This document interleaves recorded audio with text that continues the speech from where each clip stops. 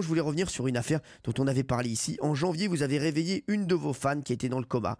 Et euh, non, mais c'est vrai, on vous a jamais Ouais, entendu sur fou, cette affaire. ouais. Que- comment ça s'est passé? Vous avez Mais vraiment non, réveillé j'ai jamais voulu en parler parce que je voulais que ça reste euh, secret. C'est vrai, c'était Janine. euh, oui, bah, bah voilà, je suis en vacances. Et Ah, c'était pas, en concert. Non, j'étais en Non. vacances et sur le Facebook, euh, tout le monde appelait, Barzotti, tous les chanteurs appelaient, on t'en supplie, essaie de appeler cette personne parce que euh, il y a une dame qui est dans le coma. En fait, une mamie avait traversé la route et s'était faite écraser par une voiture et le chauffard était parti. Et donc le fils désespéré, euh, elle était dans le coma depuis une semaine et le fils désespéré me dit voilà. Elle est fan de, de Fredo. Ouais. Allez, je, je risque tout. Et je veux que, que Fredo lui parle.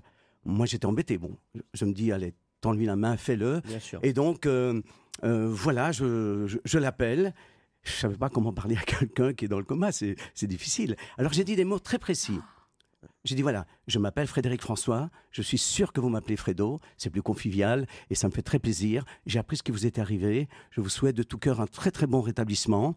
Et hum, laissons faire euh, la, la médecine et le temps, et quand vous serez guéri, je vous promets, parce que je sais que vous êtes une grande fan, que je vous recevrai à Forêt Nationale avec un laissez-passer. Vous viendrez dans ma loge et je vous ferai de gros bisous. Mais pour l'heure, vous avez une famille magnifique qui vous aime, qui vous adore et qui n'attend qu'une seule chose, c'est que vous reveniez au plus vite Et- parmi eux. Et là, Et voilà. et là elle, elle a dit. euh, Non, le, gar- le- le père s'en va Ouais. et le lendemain, quand il ouvre la porte, Elle était en train de danser la. à 13h, La Bacarena. non, elle chantait mon, elle chantait mon cœur te dit je t'aime. Non, pour- c'est pas vrai. non, elle était réveillée. Non, voilà. ouf. Voilà. Mais bon, je n'y suis pour rien. Ah, si, si, si, Ah, si, si, si.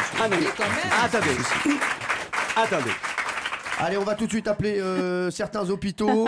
Les enfants, Euh, les enfants. Cyril, si j'avais ce don, bah, je l'aurais fait, mon Dieu, sur Non, mes mais parents. sûr. Non, mais- Surtout, non, je crois que c'est une coïncidence. Ou fou. alors, les, les médecins diront que c'est un choc euh, émotionnel, peut-être. Tu vois Ouais, euh, non, mais eh, ça- Mais elle s'est réveillée. C'est incroyable. Voilà. Moi, moi, j'ai essayé la dernière fois. Avec euh, on- qui On, m'a appelé 3-4 personnes. Ouais, elles ouais. ont passé l'arme à gauche. hein, je leur ai parlé au téléphone. euh, ouais, j'aurais dû en Vous, prendre avez essayé d'appeler des gens la nuit comme ça Bah oui, non, pour mais les réveiller. je vous le dis. Et, et les gens, voilà. Et derrière, euh, les gens, c'était non, non, mais. euh, Non, le plus beau, c'est que le fils, les petits-enfants et la famille ont retrouvé la mamie. Et elle va bien. Elle va bien pour le moment. Et puis, puis voilà, quoi. Elle, est, elle est encore vivante alors, Janine. hein? Bah oui. Ah rigole. Ah Oui, oui, elle est vivante. Oui, parce que Il l'appelle- deuxième il choc, l'appelle c'est. tous les jours. Non, on s'appelle pas, Il mais l'appelle tous les jours. Elle est vivante. Et puis, Elle a et puis c'est bien. 71 ans, Janine. On l'embrasse fort en tout Oui, cas. on vous embrasse, Janine. Voilà, Janine, j'espère qu'elle nous écoute. Je suis sûr qu'elle nous écoute d'ailleurs. là. Elle sait qu'il y a Frédéric François, elle nous écoute, Ah bah, Janine. C'est euh, sûr et certain.